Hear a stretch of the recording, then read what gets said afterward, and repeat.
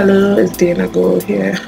And I have a theory that the commander is the one that set up Nick. Now remember Nick went to um, Commander Pryce and um, told Commander Pryce that he has something to tell him about the environment he's in because you know he's an eye, okay? And also before that, the commander actually went to Commander Pryce and asked him to promote Nick. They don't have to move him. Basically, if you get promoted, they get your own house and they get your wife and whatever. They get probably your own handmaid. I don't know.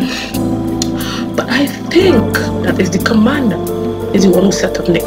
Because on the way to the house, which is in the middle of nowhere, Nick, we didn't see any cars. We didn't see any cars passing them, else, I don't know, um, June probably would have had to duck down or something, okay?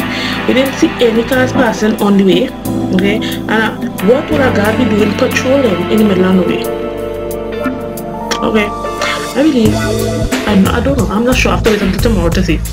But I believe is the is the commander that's the one who set up Nick. Now what do you think? Leave a comment in the comment section. But we will wait tomorrow to see. Goodbye.